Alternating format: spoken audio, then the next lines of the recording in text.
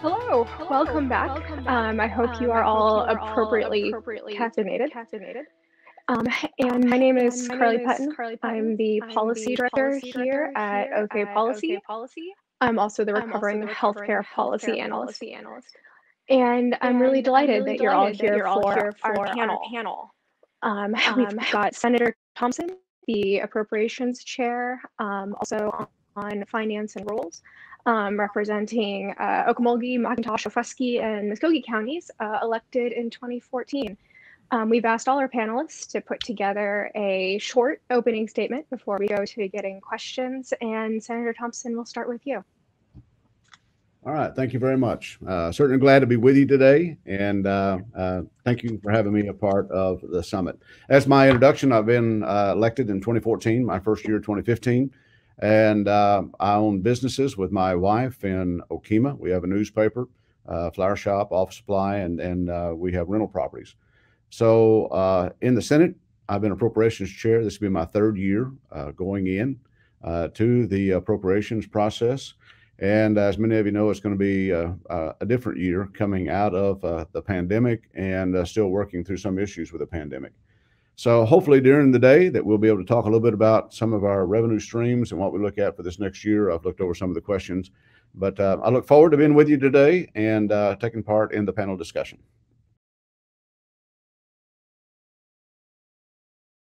We'll go now to Senator Kirt. Um, she serves on appropriations and uh, finance, as well as a few other committees. Um, Senator Kirt was elected in 2018.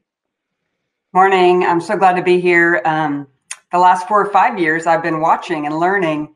Um, so I so much appreciate this budget summit each year. I, we enter such an important time. I mean, everything has changed with COVID, and we really have to look at how we rebuild our economy in our state in ways that are more sustainable and that don't leave so many people behind. So I look forward to the conversation.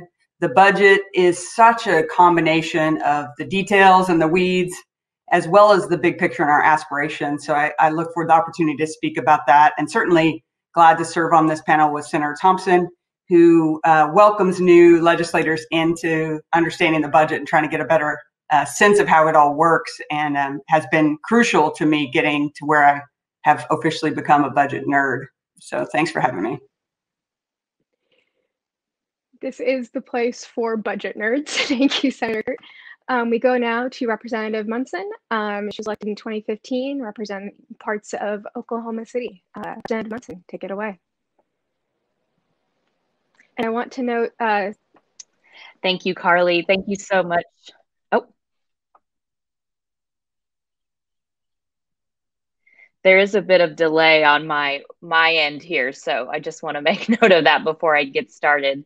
Um, first, want to say thank you to you, Carly, and thank you to Oklahoma Policy uh, Institute for having me. I'm uh, really excited to join you all. Um, like Senator Kirt said, I have always enjoyed attending these budget conversations before session, um, not only as an elected official, but um, as I was running for office and before I was running for office, I, I gleaned a lot of information from you all on the work I was doing um, in the nonprofit sector as I worked for the Girl Scouts of Western Oklahoma on behalf of girls across 39 counties in Western Oklahoma, as well as their families. And I was really pushed to run for uh, the House of Representatives because of um, how I felt about the underfunding of our schools and critical services that uh, we will discuss, I know, today and as we go along throughout session. Um, just to give you a little bit of uh, background about me, as Carly mentioned, I was elected in a special election in 2015, so I'm entering my sixth legislative session. I serve the House Democratic Caucus as caucus chair and look forward to that role in this upcoming session in this legislature. And as I mentioned prior prior to uh, running for office, I worked in the nonprofit sector. So I feel really passionate about uh, making sure our nonprofit organizations and advocates are speaking up on the issues that are so important to uh, Oklahomans because we are on the ground providing those services and filling the gaps when government so often uh, doesn't do its part in serving uh, residents across our state. I also serve on the House uh, full A and B committee, so the appropriation and budget committee in the House. I will be um, on this committee. This will be my second session that I'll be on the full House A and B committee. So I look forward to that work. It's it's tough work. Uh, we're always very busy. There's always a lot of bills to get through, um, but feel really grateful to be a part of that process um, in that capacity, and of course um, as a legislator. So I look forward to the conversations that we'll have today, and just want to thank you again uh, for having us. Thank you, Carly. Thank you, Representative Munson. Uh, and I was going to mention, uh, we ask for the audience's patience on the tech front. We've got five different Wi-Fi systems all struggling to do their jobs right now. Um, so hopefully they will all hang in there for the duration of the panel. Um, and Representative, I'm glad you mentioned the Girl Scouts because I believe Girl Scout cookie season has just started and I have some orders to place. Um, finally, I'm delighted to welcome uh, Terra Branson Thomas, Secretary of Nation and Commerce for the Muscogee Creek Nation. Um, Terra, happy to hear from you. Hi, good morning, uh, and thank you for the invitation, and thanks for hosting uh, this very important discussion. Um, I am really just honored to be on the panel with folks uh, from the state who are making very important decisions and uh, really leading the state in some of these very um, nerdy topics, as I think has already been alluded to. Um, tribal nations in the state of Oklahoma uh, are critical um, to the success of the state and we share when the state does well and we um, pull together when the state needs additional support or um, help in our communities and local municipal governments. And so I, it's just a pleasure to be a part of the discussion and to hear from some of the smartest folks on these issues and to field questions uh, as we enter into another legislative session. Uh, and i appreciate the opportunity. Um, i've been with muscogee creek nation for nearly four years now and prior to that i also worked in the nonprofit space doing advocacy um, primarily at the federal level for tribal governments. And so, while I'm not um, as a as a expert as others on the panel uh, here in the state of Oklahoma, I do understand how tribes contribute to local economies and how we can continue to provide support um, and help in uh, local and rural areas here in the state of Oklahoma. So, I'm really uh, happy to be a part of the panel and look forward to the discussion. Thanks, Carly.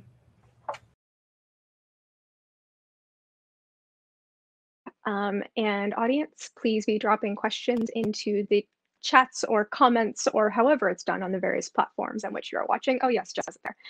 Um, I'm going to start off with uh, one uh, directed at Senator Thompson. Other panelists, if you want to jump in, please just gesture and our comments will slot you up. Um, so starting off, the COVID-19 pandemic um, will continue to threaten our health and food security and incomes for the coming year. And full economic recovery will probably take years. Um, what should we do this legislative session um, to improve both our short and long-term response? Question uh, very much, and um, certainly looking forward to the coming session. Um, as you know, we've had a uh, two different packages from the federal government that has really had an impact on our uh, first uh, introduction our introduction to the pandemic. You know, the the Feds did 2.2 trillion uh, on the first round, and uh, as I looked at those numbers last year, that tracked right along uh, with Oklahoma. And uh, so, whenever I was standing up and saying that cutting the budget 1.3 billion was a, a, little too much, I think it was probably between five and 600 billion too much, or five 600 million too much. proves in the Board of Equalization meeting that those figures were true and, and they were accurate. I, I do feel good kind of looking over some of our numbers today. We're down 2% in our sales tax collections, uh, but we're up in our use tax collections, which is our online tax, by about 12%. And so that's for a net gain of about $5 million. So while we're down $50 million in sales tax, we're up 5 million uh, or 55 million in, in online tax. Uh, we have other growth indicators that I think are looking good, such as right now on the uh, withholding income tax. So we're in between relief packages, and uh, I'm looking forward to another relief package coming to Oklahoma and helping the folks. But uh, right now we're about up one percent. That means some folks are able to return back to work, and so that looks pretty good for the economy. So the question is, what do we need to be on the lookout for? Uh, reading a current report from the uh, Legislative Office Fiscal Transparency on the CARES money and uh, how that was spent, how that we are obligated for the future of some of those expenditures uh, making sure that we're able to handle those. Uh, the testing is somewhat a very much concern of mine. Uh, I, don't, I do not want to see people having to go back to their pocketbooks to pay for testing. I think it's something the state's going to look at. So the second round of CARES money uh, will be a part of that. So uh, the impact on the budget this year, uh, the great part of it's going to be for the Medicaid expansion. We may get into that just a little bit later on, and talk about the impact that's going to have on on the budget as we move forward. So that's just kind of a, a quick overview. Fantastic, thank you, Senator. Uh, yeah, Senator Kirt.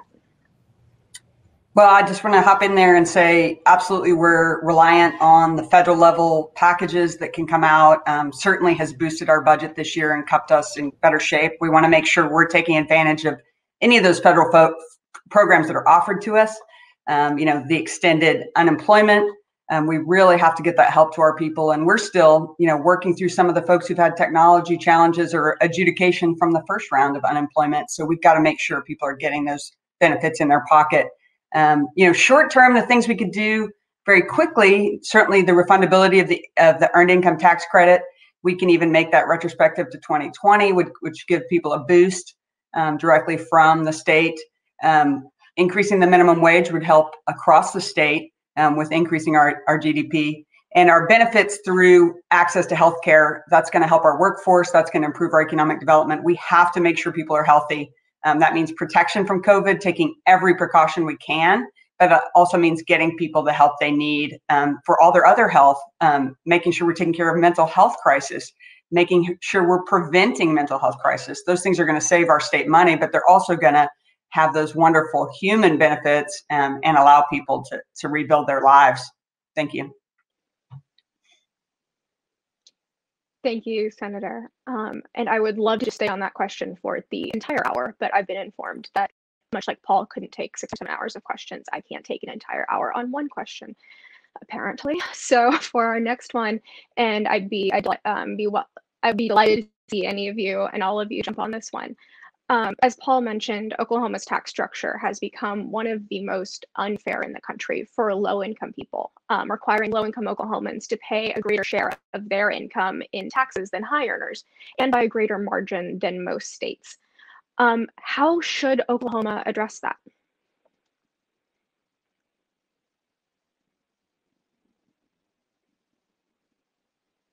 If, if, we're going to be silent, let me just go ahead and open up. Uh, I think that we need to continue to look at our, our tax structure uh, in Oklahoma. Uh, one of the, the, areas that we must be able to do is to fund uh, our core services. And whenever I was chair of finance, I, I looked at updating our tax code and working on it. Uh, there are a couple of areas that's very problematic for that. State Question 640 is one of those areas.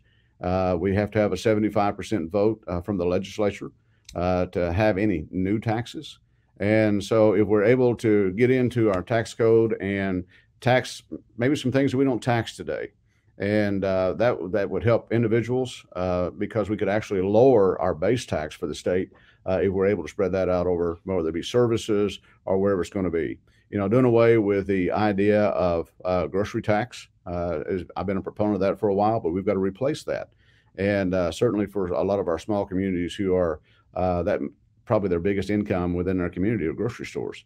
And so I think State Question 640 is going to challenge us uh, in doing that. And then, of course, it's hard to put together an entire package of either tax reform uh, whenever that we have the single subject rule.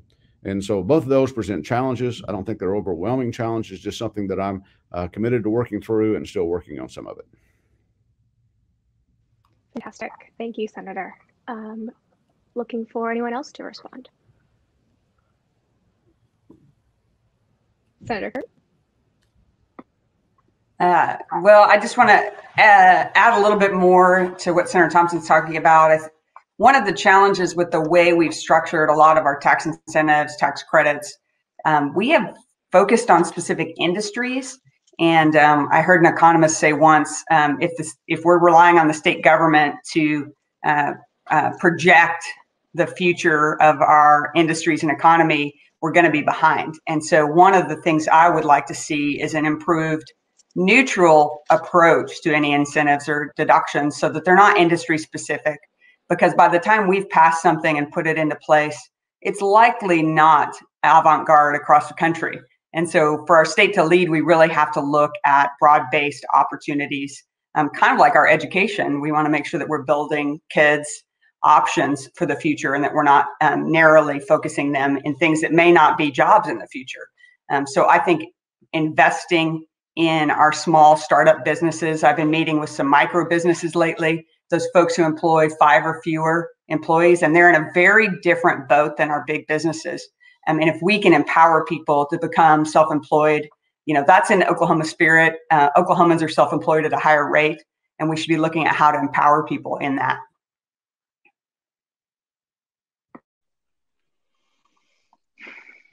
One question from the uh, chat or from the comments. Um, Senator Thompson mentioned looking forward to Medicaid expansion. Uh, I personally am also looking forward to Medicaid expansion because it has been uh, a significant part of my job for my entire time at OK Policy.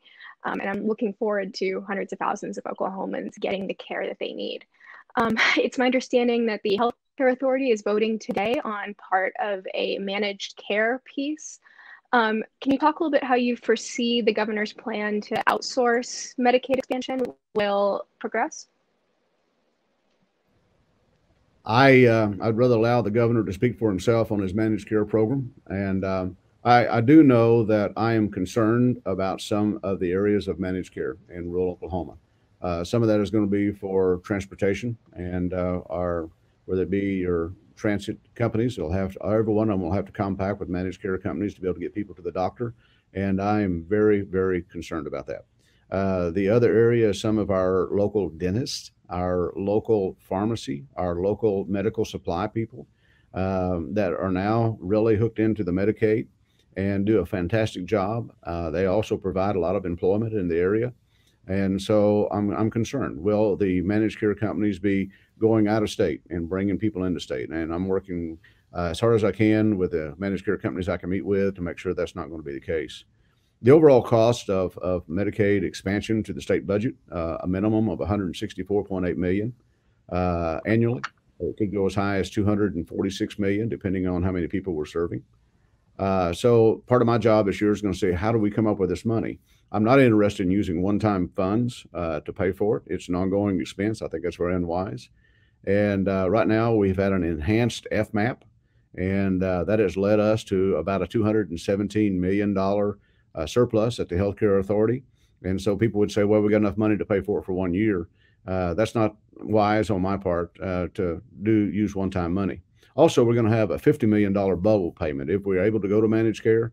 And I, I just want to say the legislature will be discussing this uh, very much this year. And I think it'll be one, probably one of the greatest discussions we'll have and, and the most heated discussion we'll have uh, in the legislature that kicks off next week. But if we go to managed care, it'll be about a $50 million bubble because we just can't stop paying people that are on pay for service and then start paying the managed care companies uh, to be able to take care. And so we have a lot of things that are before us, a lot of things that are yet to be decided by the legislature. And uh, but that is going to be a great challenge. I do want to say before I conclude, I've been for Medicaid expansion since I have been elected. Uh, I think we've needed it. Anytime we get federal money, we ought to be taking some of the federal money.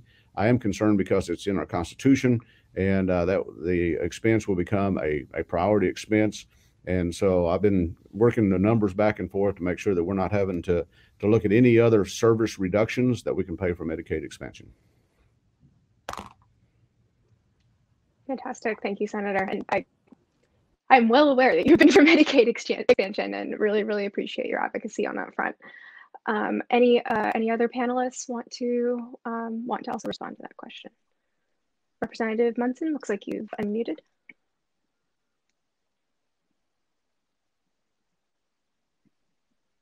Yeah, well, first, I want to thank Senator Thompson for his support of Medicaid expansion. I think it's important for um, Oklahomans to understand that Medicaid expansion should not be a partisan issue. That this is something that we, as uh, you know, state leaders, should be working towards and should have um, for many years. And um, I'm certainly grateful for those who um, took it upon themselves, especially the people, to um, ensure that their voices were heard and um, put a mandate on us to fund healthcare in Oklahoma. And I think our priority um, should be making sure that we answer the will of the people. So um, I think I missed a part of that because of the lag in my Wi-Fi, but I I know that managed care was brought up, and I think that we have to focus on uh, ensuring that we pay for uh, we fund Medicaid to ensure that folks have access to healthcare. And uh, similar to what Senator Thompson said, and what I wanted to add to the question about our, our tax structure is that we can't continue um, having these short-sighted plans or one-time uh, funding streams when we have uh, services that we have to continue to fund that are so critical to the health and welfare of our citizens, uh, especially when it comes to healthcare. Um, we know that now more than ever with the ongoing pandemic that we are navigating and living through. Um, the pandemic only exacerbated the health challenges that we face here in Oklahoma, especially when it comes to mental health and behavioral health um, and those services that have been underfunded for so long. Um, just today, I was listening to a story about the increase um, in suicide deaths um, that the CDC has reported. And uh, while they didn't delve into each state, I know that Oklahoma is probably uh, one of the highest just because of the underfunding and, and lack of focus that we've had on healthcare. And so, um, with this session, it is important for us to work together on both sides of the aisle and and ensuring that we fund uh, Medicaid without have we don't have to have um, also that short-sighted solution that services have to be pitted against each other. So I know in uh, Paul Shinn's uh, conversation about uh, or his presentation about the budget, there was a question about education education being cut in order to fund healthcare. Um, and to me, that's such a short-sighted way to plan uh, for our future. It's a short-sighted way to plan for our budget this year um, when we can really uh, find ways and work together to fund our critical services without choosing between uh, education or healthcare um, or other economic safeguards that we should be focused on this session and, and sessions in the future. Thank you, Representative Munson. I'm really glad you brought that up. The uh, the half joke that I've been making since uh, very late June um, has been that um, uh, when Oklahomans voted to pass Medicaid expansion, they didn't vote to trade kindergarten for healthcare, right? They voted for a better Oklahoma for Oklahomans. Um, and I'm really looking forward to um, how the legislature tackles that this session and ongoing. Um, I'm going to zoom out a little bit to more of a philosophical question. Um, you can't talk about budget and taxes in Oklahoma um, without bringing the relationship between the state government and our tribal nations into discussion. Um, how do those relationships affect you all, the way they affect, how do these relationships affect the way you all approach questions of revenue sufficiency and tax fairness? Um, and Secretary Branson Thomas, I'd like to start with you. Sure. Thank you for uh, posing the question. We uh, at Muscogee Creek Nation have been looking at ways to continue to provide support to our reservation and to the state in total. Um, I think that the question is is a delicate delicate one, and that we um, have positioned ourselves in the state of Oklahoma um, so that maybe we're not always on the same side. However, um, tribal citizens that live on the reservation are Oklahoma citizens as well, and the Muscogee Creek Nation Constitution protects their rights as a state as a state uh, citizen. So any right that they have as an Oklahoma citizen is protected by our Constitution and cannot be um, deterred and so i think one of the one of the issues that has come up recently in the media is around the oklahoma tax commission's uh, report that extends um, some ideas around uh, the McGirt decision to civil implications that include tax collection and state um, individual income tax uh, exemptions. And so we've been working internally to provide support to tribal citizens to better understand what their new rights are, how the Oklahoma law reads. And I've reached out to several um, elected representatives to kind of talk about what the intent is um, coming up uh, in the next legislative session and I've heeded the calls uh, from Governor Stitt uh, to participate in in-person meetings to talk about potential opportunities on the horizon where states and uh, tri- where the state and tribe can come together uh, and potentially negotiate some uh, ideas that work for both entities.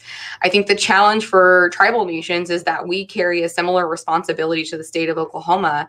Uh, we have to provide uh, public services in our communities, uh, and the McGirt decision reaffirmed that responsibility. So we too are in a position where we're trying to identify potential revenue opportunities um, and really are handicapped by federal law um, in how we can uh, generate revenue, which is very different than the state of Oklahoma. And so so while we want to be partners in the success of the state of Oklahoma, we also recognize that we have a responsibility um, to provide services to our citizens and other tribal citizens who live within our nation.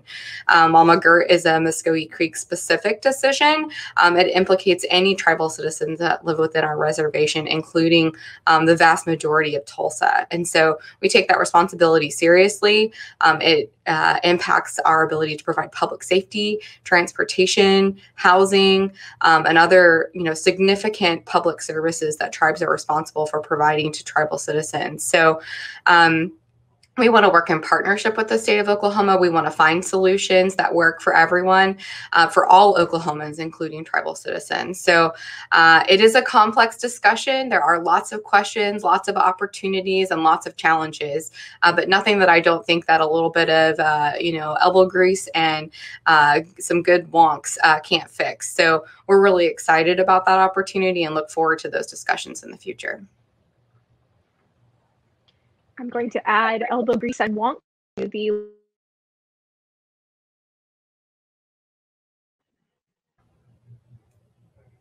I didn't mention, as long as I have a captive audience of however many people are watching on various platforms. OK Policy, um, in conjunction with the Center on Budget and Policy Priorities, is currently uh, hiring for a tribal fellow um, to help tackle some of the uh, particularly thorny issues um, or exciting issues raised by McGirt um, as well as so many other ways that state and tribal policy interact.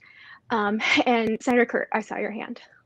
Thank you. I'll uh, jump in here because I know Senator Thompson has the details, um, but I want to just talk about the big picture a little bit. Is that um, you know clearly we need to approach our partnership with the tribal nations with more respect and more recognition of their sovereign um, status and that every uh, partnership we enter into, we should begin with that kind of partnership and mutual respect. Um, I want to see us doing a better job of learning from tribal nations how they have um, diversified their economies. Um, you know, we have some incredible success stories in rural Oklahoma of tribes um, bringing economic development, building up their own economies, um, focusing on the assets they have in their communities. So, be that their artists, their culture, their place, their um, natural resources, and using that to build their economies. So I want us to to learn from their their growth as well as look towards our future financially. And Senator Thompson, uh, I believe Senator Kirt has uh, has sort of queued you up. So um, anything else you'd like to add? Uh, yes. Uh, Madam Secretary, thank you for being a part of this discussion today with the Muscogee Creek Nation. Um, I had great visits with Chief Hill, and um, I count him as a, a friend of mine. Uh, right after the McGirt decision came down, I made an appointment and I drove to Okmulgee and we sat down we visited. Uh, he hosted a seminar for state legislators uh, in Tulsa and uh, did a great job. Chief Hill made it uh, apparent that whatever decisions that we make, we need to move slowly because the decisions that are made today uh, will impact generations to come there there are some some challenges behind McGirt, and uh, some of those are going to be uh, the Oklahoma Tax Commission report. Uh, we we need to work through it, as the uh, the secretary made mention. If we take all five tribes, and in the report it talks about it could have a, a potential impact uh, on the state budget of two hundred million dollars a year. If all five civilized tribes exercise their right on income tax and on sales tax. Now, the income tax is uh, working its way through the system. Uh, I think there'll be some challenges of paying income tax this year because the McGirt kind of broadened that from trust land into reservation land. And uh, so we don't look at any uh, significant impact this year. There may be more next year uh, on the budget. Uh, I do believe that we need sales tax compacts with the tribe. Um, we've, we've got several issues in small communities that live off of sales tax alone, and we need that. I know in Okmulgee, we still have a strip mall that we need some sort of a compact on and work on. Uh, we deal with our civil cases. We deal with law enforcement. Uh, there are still some law enforcement that have not uh, yet reached an agreement on um, being able to cross deputize. Uh, I think that's imperative uh, that they do that, encouraging all law enforcement to do it. I do have a group of individuals now in uh, the Senate district, and by the way, my entire Senate district lies within the Muscogee Creek Reservation, and except for just one little small part in Muskogee County that's on the Cherokee Reservation. And so I am confronted with questions every day. but I've got a group in McIntosh County that are Native Americans living on uh, the reservation now, uh, by the definition of McGirt, who are seeking not to pay property taxes. And uh, whenever I talked to Chief Hill about it, he said that you know he didn't have he was agnostic about it, was encouraging people to pay their taxes, that they are uh, a part of the community. But we realize if we start not paying property taxes, and that has to go through the court system, uh, that doesn't hit the state. The state does not have a property tax. That hits the local communities and, and your county government and your schools and could be impacted. I don't know where that's going to go. I've been having that discussion for some time uh, with this group, and uh, so I, I, think that is going to be a growing uh, discussion for for taxation. I, I, do believe that we need to have uh, leader to leader uh, consultation. I've been for the governor sitting down with the chiefs and the governors and the tribal leaders, and and come to an agreement. Uh, I am not for raising the exclusivity fees for tribes. As I told the governor whenever we started all of this, if you look in my district, uh, that only have one hospital in my district, and that's in Henryetta. That's not native owned, and we would not have health care if it were not for uh, the Muscogee Creek Nation in the majority of communities uh, within my district. And so, very much so, the gymnasiums that are built at the school, the roads that are built in the town, uh, the tribes are great economic partners with us, and we need to sit down and, and say, hey, we value what we have. Uh, but how do we get to the next level? And that's where I see today that we're we're missing the next step. That we're going to be able to sit down and say we need to be working on compacts. And so I am concerned about it uh, on the state level. I'm also very much concerned about it on the small community level, uh, especially whenever we're dealing with sales tax and property taxes. Thank you, uh, Senator Thompson. Um, getting back into the weeds, uh, another question.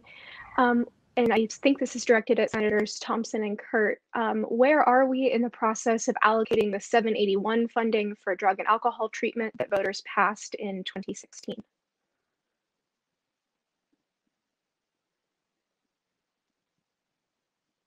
Follow. Um, thank you very much. And, and I'll kick it to Senator Kirt very quickly.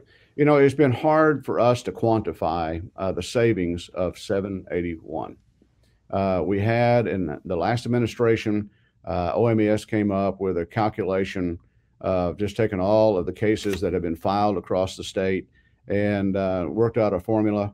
Uh, so we've had discussions in the interim about how much money that we would look at to put back into 781. Uh, but as of today, there's been no deposit put into that particular account.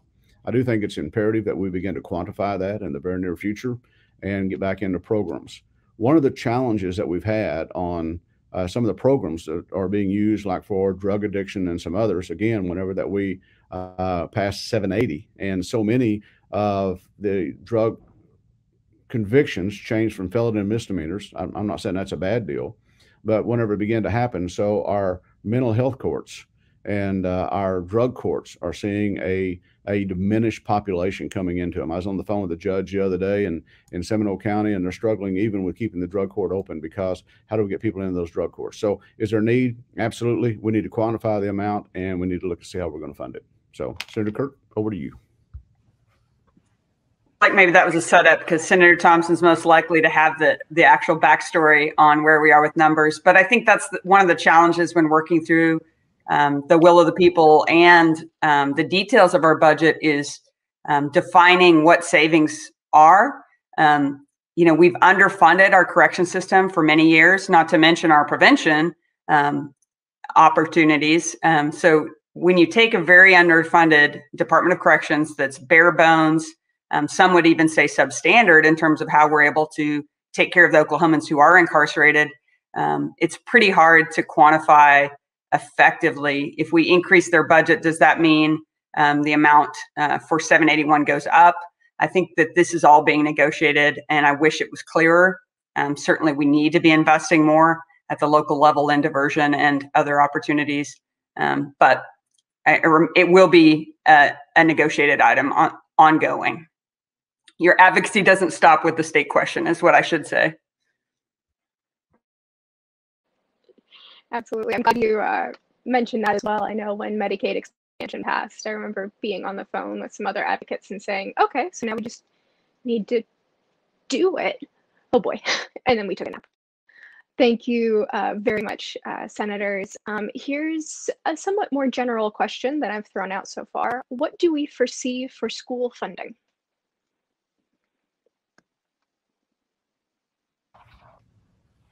Uh, thank you. I, uh, as we look at education for this next year, you know, you made a comment early on that we don't want to trade uh, kindergarten for healthcare. That's never been a discussion uh, that I've been a part of, nor would I want to be a part of that. And um, you know, we uh, looked at last year whenever that we had to take some cuts, and we talked about that early in the program. Education only ended up with about a 2.86% cut, which was significant. It was a little over 88 million dollars. Uh, we're hoping this year that we can restore uh, that money and get us back to the FY20 appropriation for common education, uh, just a little over $3 billion.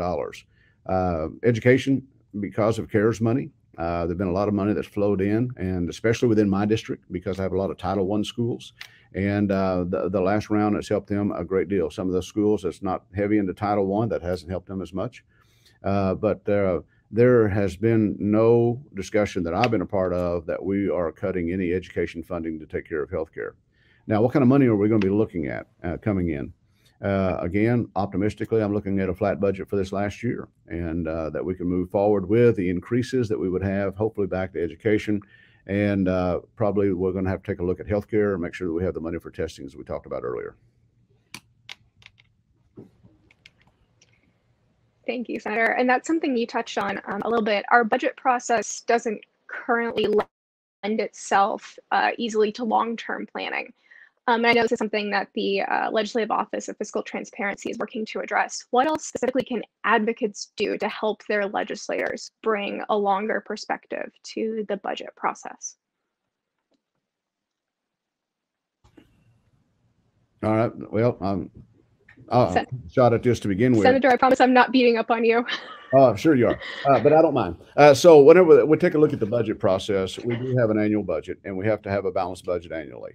And uh, one of the areas that we believe LOFT will get to, and we're wanting to be there, is is if we take federal funds and uh, what long term uh, obligation does that have to the state? We've had agencies come in before and say, "Hey, I've got a ten million dollar grant. It's got a five hundred thousand dollar match." And um, and I can pay that out of the my uh, revolving funds, so it has a zero fiscal impact given to us by the tax commission, and uh, so uh, we say, okay, let's do that. Then come next year, uh, we have a five hundred thousand dollar obligation for the life of the grant, so we want to make sure that we're not able to do that. You know, another area that I uh, see in, in legislators just really digging into the budget, and uh, I want to pause a moment and I'll tell you what, Senator Kirt has been one of those legislators that have come in, they've grabbed a hold of it, they begin to learn numbers. And even though she and I are on different sides of the aisle, uh, we're not on different sides of a, of, a, of a lot of issues because she's somebody who does her homework and we're able to sit down and really have an intelligent conversation. What, what I have difficulty with is having conversations with people who've not done homework, who've not really looked at the budget and see where we want to be. So, how can you help your legislators, encourage them get involved in the process? And then for the legislators themselves to have long range goals that they're trying to really address something within their time in the legislature. And, uh, you know, 12 years seems like a long time. It begins to be a very short time. I'm in my seventh session. And if I'm fortunate enough to serve all 12, I am uh, more behind me than I have in front of me. And, and the amazing thing that I have is that I work hard on the budget process, but I learn something new every day where money's coming from and where it's going. So encourage your legislators, get involved, encourage your legislator to have a vision of where they would like to go during their time here, and then work toward uh, bringing that vision to fruition. I was just going to add, um, and of course, anyone else jump in, but just in terms of advocacy, I it can be intimidating to speak up about the budget. I know you know, even talking to Senator Thompson, who's very welcoming, you know, he knows some of those budget numbers down to the individual dollars um, for, um, you know, a billion dollar budget um, for an agency. Um, so that can be a little intimidating. But as an advocate, if you can focus on how short sighted budgets are impacting you in a real life way, that can be helpful. So if you're seeing things, you know, things that led to Medicaid expansion, like hosp- my hospital's closing down, or this is what's happening in our schools um, that can be effective for helping um, your legislators see what priorities you're asking for and push them towards longer term vision. Um, you don't have to write the budget. I mean, that's the challenge inside the building is doing the actual crunching and putting one thing after another. Um, but you can speak up for priorities. And I just have noticed many people are afraid. Uh, you know, maybe it's our fear of money in our in our personal lives or lack of understanding, but afraid of talking about the money. And that is one of the most important parts of what we do.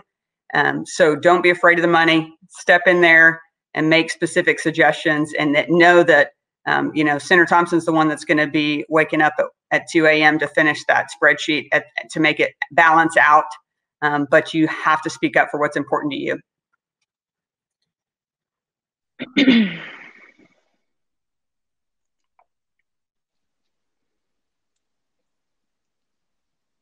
And I believe next we're going to Representative Munson.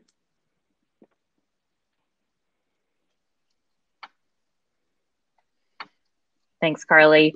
Uh, I just wanted to echo what uh, both Senator Thompson and Senator Kirt said about um, legislators getting more involved in the process. I very much appreciate um, the A and B chairs, uh, Senator Thompson, but also Representative Wallace, who um, are really doing the work to engage members of the entire legislature versus just those in the majority and ensuring to include those of us in the minority.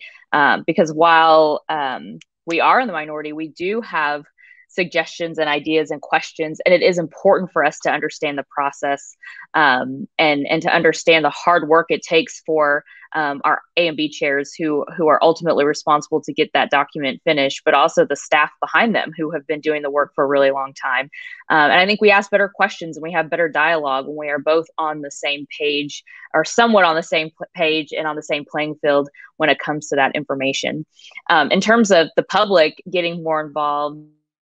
Um, I think sharing your personal stories and and how the economy has impacted you, not just in times of crisis and things that we're going through today, but but um, what budget cuts mean to you know your child's education or your work environment or the way you do life. That's important for us to hear. And like senator Kirt said it's not always easy to talk about money especially when you are facing different challenges but um, every single policy decision that we make trickles down to the people. And it and and the biggest decision we make is on that budget bill that we vote on that we have to vote on um, we're constitutionally required to do.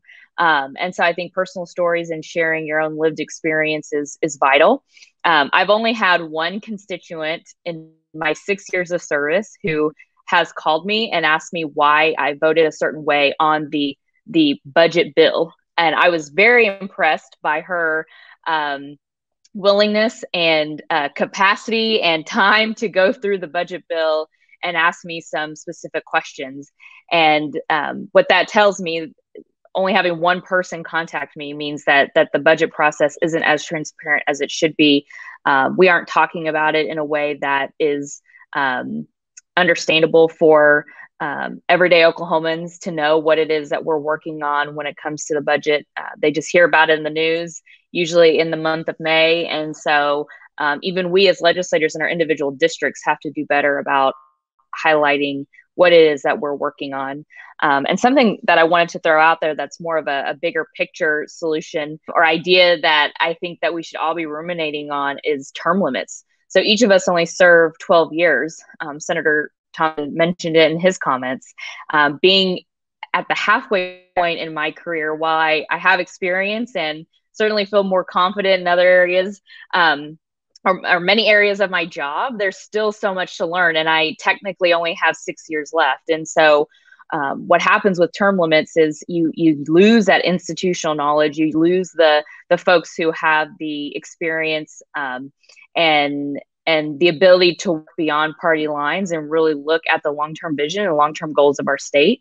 Uh, I think that was a, a, short-sighted decision that we as Oklahomans made, um, and really should reconsider um, term limits in our state government. And so caught up on these buzzwords like career politician and things like that when we have folks who are truly knowledgeable in these subject areas who can really help improve the process and ultimately improving the lives of Oklahomans.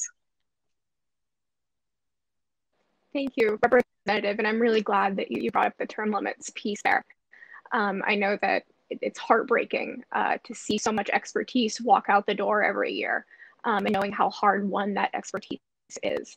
Um, I'm also glad that you you mentioned, um, actually all of you have mentioned the importance of, of contacting legislators. We'll be talking about this a lot tomorrow during the uh, advocate training and the importance of personal stories um, and being an expert in your own life and being a resource to legislators on that. Um, something that we touched on briefly earlier and I think sort of hangs like a cloud over every legislative session is of course state question 640, which requires the um, supermajority for any revenue raising measures. Um, that's not the only way to put money back into the budget, of course. You can do away with uh, exemptions and incentives with a simple majority. But State Question 640 really has hobbled uh, the legislature's ability um, to raise needed revenues. Do you see any appetite to do away with State Question 640 in the near future or the distant future? Yeah, I, I strongly believe that's going to have to be from the people. Uh, if you talk to people about legislators. Uh, there is a, while people may like their individual legislator, uh, as a whole, uh, our ratings never get really high. And so when we start talking about changing 640, and uh, people say, well, they're just after another money grab. And so I think if the people were able to do an initiative petition, I know some of the chambers have looked at it, uh, uh, some of the other groups have looked at it, but I think that's where it would have to, to, to start. Um, we had in a discussion a couple of years ago in the Senate, uh, just simply trying to bring that from 75% down to 60%, make it a resolution and get it to the vote of the people. And uh, we were not even able to get that out of uh, committee. And so I think that it's got to be from the people. Thank you, Senator. Uh, others?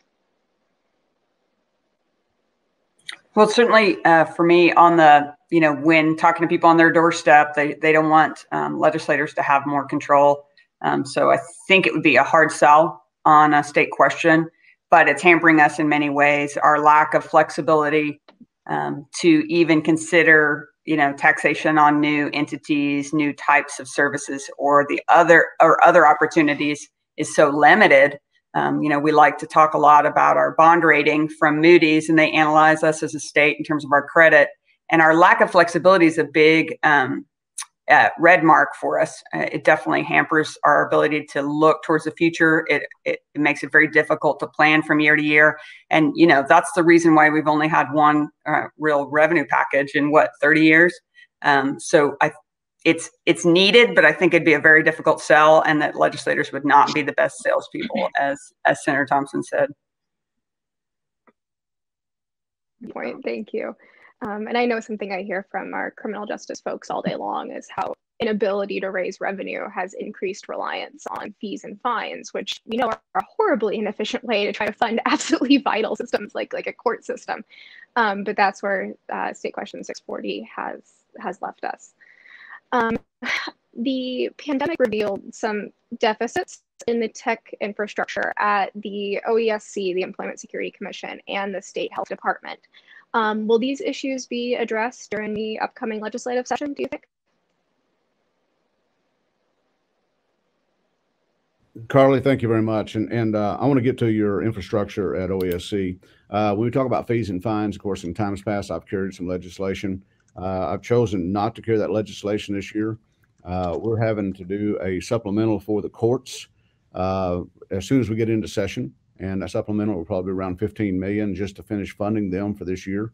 Uh, with the change of, I think, two areas. One is the pandemic. A lot of the courts have been shut down, and so therefore they've not been operating. So the fees and fines have not been charged. And uh, while it is, and I would agree, not a good way to fund the courts, uh, but right now that's how we are doing it. We've got to work our way out of it. Uh, we're also seeing in eastern Oklahoma, and I'd be interested in, in Madam Secretary uh, Branson Thomas's comments on this as well.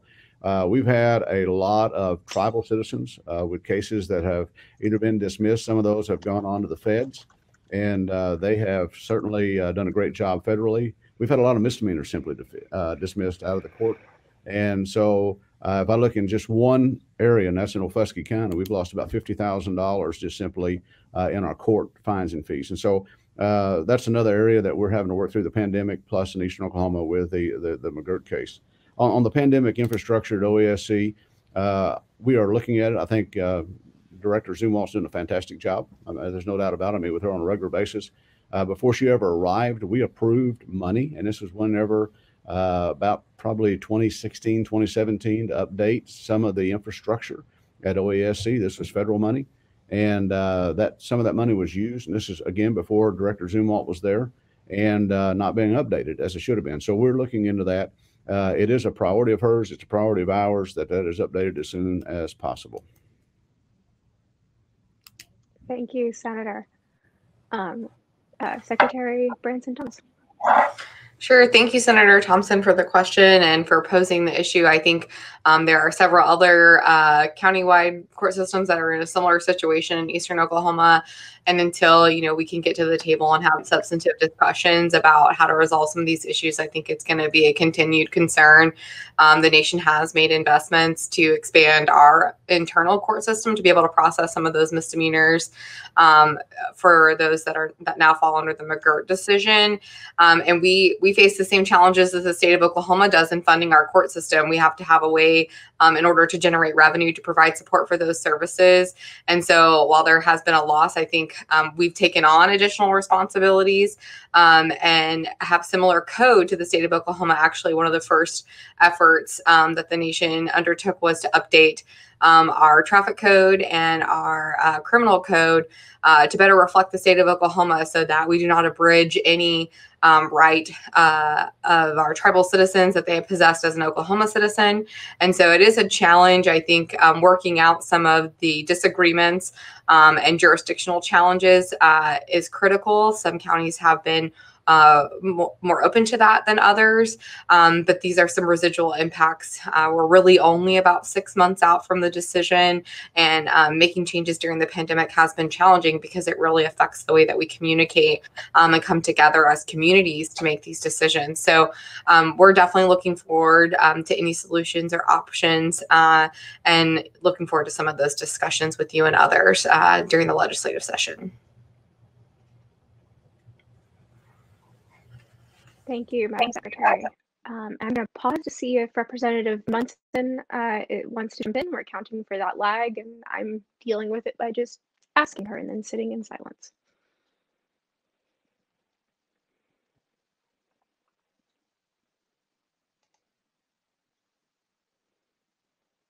It's like a transatlantic phone call.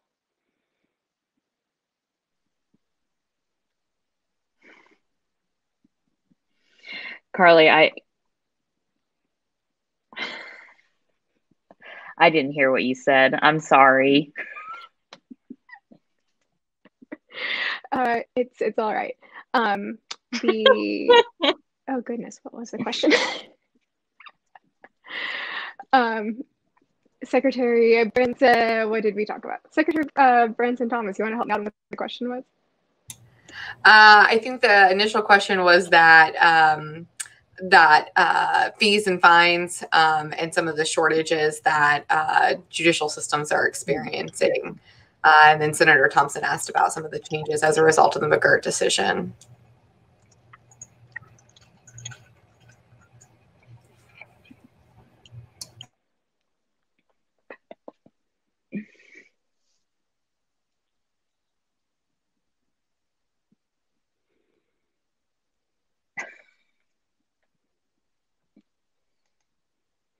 Tell you what, we are going to jump on um, in a lot of our spending for today, uh, corrections, for example, um, we know comes from underspending on preventive measures in the past, in some cases, substantially in the past.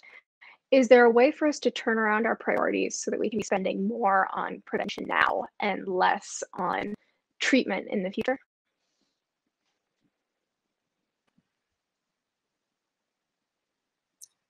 Representative Munson, are you jumping in there or do you want to?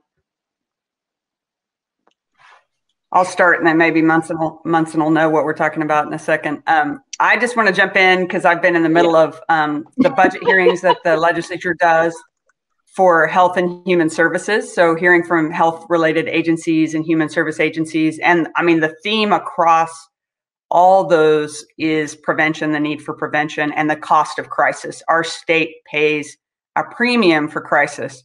We've seen it, of course, in healthcare um, because of emergency room visits we see it in um, helping individuals uh, who are caregivers for people with disabilities Um, you know, when those caregivers age or are in crisis, we end up paying for um, help for their loved one um, that costs way more than the type of preventative services when we can keep people in communities.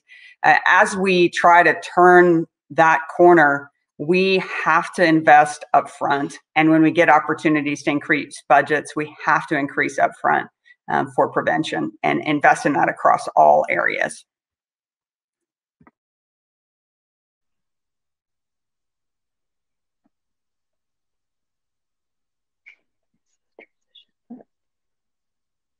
Okay, I think I'm back on. There we go. I'm wondering if this is AT&T's way of trying to get me to update my Wi-Fi. Um, I uh, just thank you for your patience is what I first thing I want to say. Um, you know, something in the last few years that we have all been talking about. Um, I think you know across the board, across party line, across the chamber, um, our chambers is um, adverse experiences and it, and it seems to be that more and more legislators are starting to really understand their uh, power and impacting policy when it comes to um, helping children early on and and what I, when I am asked to talk about childhood trauma and ACEs in particular, I always explain that um, what we see in Oklahoma with our um, average ACE score of, of, our children here in the state um, is it's really a blueprint of where we uh, must invest especially when it comes to prevention. Um, we always um, spout our statistics around incarceration, around healthcare, around education to make a point on um, just kind of where we're at as a state. But we also have to remember that those are lives being impacted, especially children who will ultimately become adults who will need services um, that are more expensive, like mental health care, behavioral health care, um, their health care, uh, just general health care will be more expensive. Uh, their opportunities for employment will be or have the the possibility to be um, uh, they won't have as many options as as those who have access to early childhood education services and, and quality public education in their communities um, and healthcare and getting regular checkups. And so um, while those statistics are um, they are important. We have to remember they're more than numbers. They really tell us a story about what our families are facing, what our children are facing. Um, and I often share my own life experience and how grateful I am for counselors and teachers and other community members who were really safeguards for me um, to be where I am today. And so um, we really have to do better with um, prevention and investing in those services that we know are so critical. And one in particular that I'm working on this session is restoring funding for Heartline 211. Um, that's a service that that serves Oklahomans across the state when it comes to anything and everything, but especially when when someone is facing a mental health crisis um, and everything that we're dealing with with the pandemic and the vaccine rollout, and then here in Central Oklahoma, um, specifically in the metro area here in Oklahoma City, that recent ice storm that really impacted families that continue to traumatize folks and um, who are still finding relief. 211 was there, um, but we still aren't adequately funding the 211 line.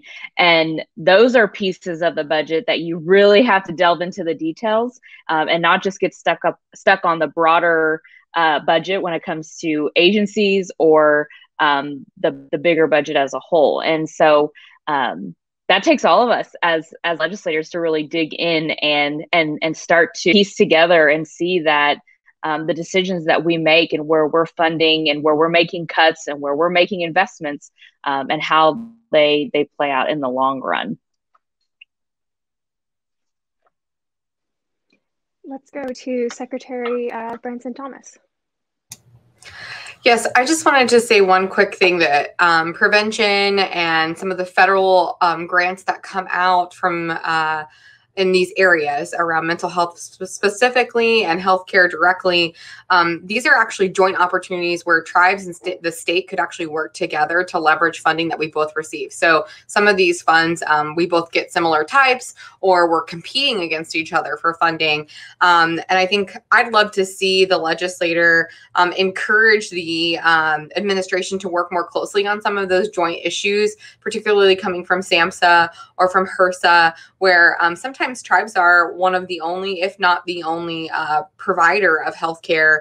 Um, and you know we're competing against each other when we really could be working together to build a more seamless network um, particularly around mental health. So i hope that there's an opportunity as we move forward and those new opportunities come out from the federal government that the state and tribes can work together in our in our smaller rural areas where perhaps the state struggles um, you know to build a network there and the tribes already has a presence um, and being able to expand to non-beneficiaries or non-indians um, would be an opportunity both for us to grow in service but um, to to to kind of build a patchwork across the state. So there's some missed opportunities there as well. Uh, and Senator Thompson, uh, anything else you'd like to add there? Yes, I would. Uh, thank you, Madam Secretary. I look forward to uh, working very closely. Uh, I think a lot of that is going to be information for us to be able to share and uh, maybe um, would improve outcomes a great deal. I am very, very interested in improving outcomes. And uh, a lot of this uh, keep going through the court system or going through the corrections or wherever. We've got to get up front. And uh, you, the Muscogee Creek Nation, uh, your chief, Chief Hill, uh, members have been great partners with us in healthcare and uh, great partners with us throughout. And now in this new era of McGirt, um, I want to look for every avenue that we can work together for better outcomes for all Oklahomans. Thank you very much. Thank you, uh, Senator Thompson. It's something that I used to keep in mind, still do, when looking at, for instance, the uh, Healthcare Authority budget, which is, as you know, massive, um, was looking at those staggering numbers and thinking that's nebulizers, that's insulin, that's a um, mental health check. That's there's so much um, that people rely on every day that comes out of that comes out of those programs. Um, I'd like us to go um, for wrap up to uh, one more question um, which is, and which I have just lost, which is fantastic. Um, we have a lot of people on this panel um, expressing that they are budget nerds. culpa. Um, but the question asker says, I worry about my students and families not being able to understand the complexities of the budget process. And at the end of the day, this is their money. Um, how can, as a lawmaker, what's your opinion on the transparency of the budget process? And I think the question is, how do we help people understand what's happening? Um, I would also be remiss if I didn't put a shameless plug in for OK Policy's uh, uh, online budget guide, um, which Paul Shinn updates pretty regularly. It's like painting the Golden Gate Bridge. Um, but all that aside, uh, legislators, uh, Secretary Branson Thomas, how do we make this process more transparent?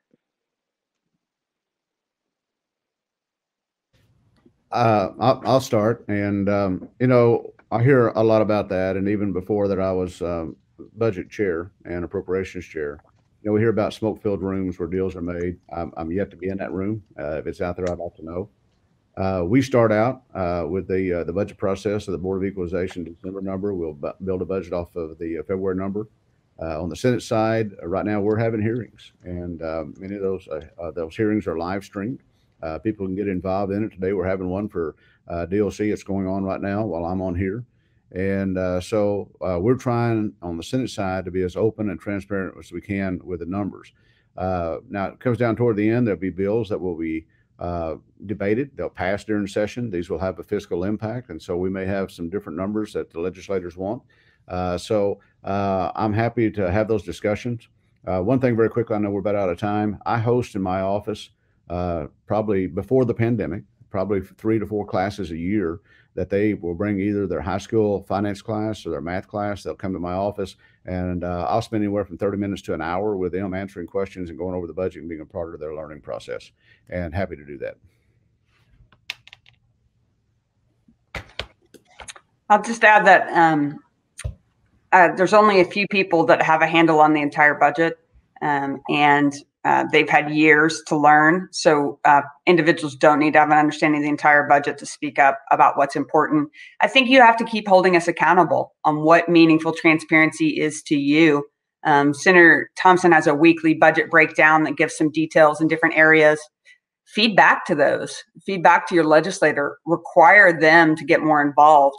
Um, the people have to say what they what they want to hear and what they want to know and I think if you speak up and say you want to see more in advance of the budget's passing, then then that's what'll happen. Um, but it's up to you to tell us um, how you expect us to govern, frankly, and hold us accountable for it. Um, and I think Oklahoma Policy Institute will help you do that. Um, but throughout the process, ask every question you have. I've found that any question I ask in committee meetings, um, it's probably representative of many, many more questions that are that are out there and that need to be answered. And we have to be willing to ask the hard questions. Um, we sometimes I think we we want to forget in the name of harmony that this is a negotiated and contested area. We have to debate, we have to disagree, we have to uh, struggle over what those priorities are. And that's not always going to be rosy, um, but we're still colleagues and we're still working together to get things done. Thank you. Thank you, Senator Kirt. Um, we will jump over to Representative Munson.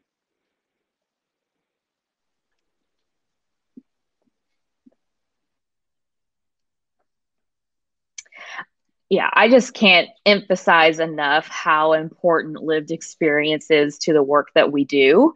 Um, what Senator Kirt was saying, every question that we ask, um, it may come from our own individual research and, and the work that we're doing, but it's usually rooted in what we're hearing out in our community, whether when we're knocking doors or our constituents who are calling um, and asking questions. Um, I think one thing that this pandemic, um, you know, it's, it's highlighted a lot of things, but so many folks were calling my office and sharing their personal stories and they would just break down and and apologize for that which they didn't have to do.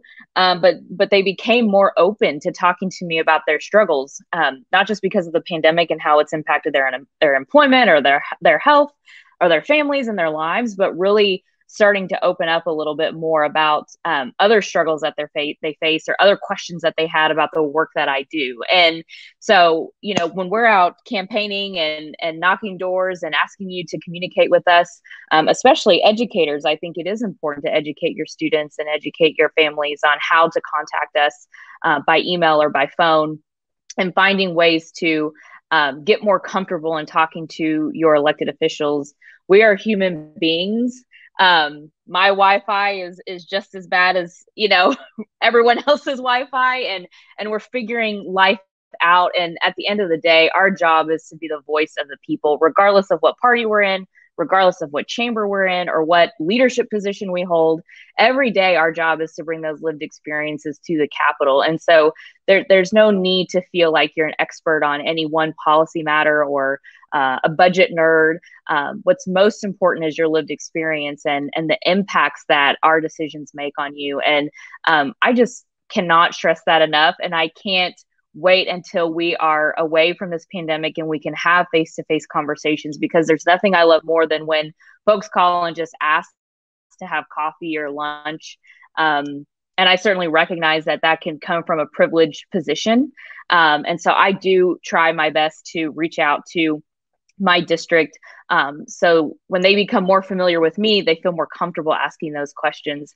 Um, so if you're watching this, listening, or coming back and watching this later, just know you don't have to be an expert to care or to speak up.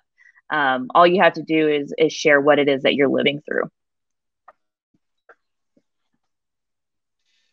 Representative Munson, uh, the line that I use when I'm talking with advocates is the question is not do you know who your legislators are? The question is, do your legislators know who you are? Um, and I'm thinking we should have a reunion of this panel um, back uh, after session because I know we're all going into the busiest time of the year for all of us. So I'm thinking um, in June, once we've had a chance to sleep for a bit, like a week, um, we'll be able to get together and talk again about the importance of advocacy um, when you all have the chance to be in district um, of making sure that those connections are being made and that um, advocates are, are talking to legislators about what they care about. Um, I know uh, Representative Munson, you said you got one call about a vote on a budget. Um, and often legislators make those decisions based on who's contacting them and what they're hearing from, from the people who live and work in their districts. So making sure that um, Oklahomans are building those relationships and making those voices, making their voices heard is just absolutely crucial. Um, this also brings us to the end of our panel.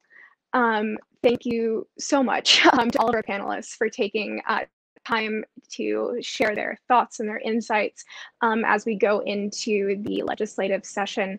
Um, thanks also for dealing with any tech hiccups we may have had before or during this call. Um, and thanks to our audience for asking such great questions.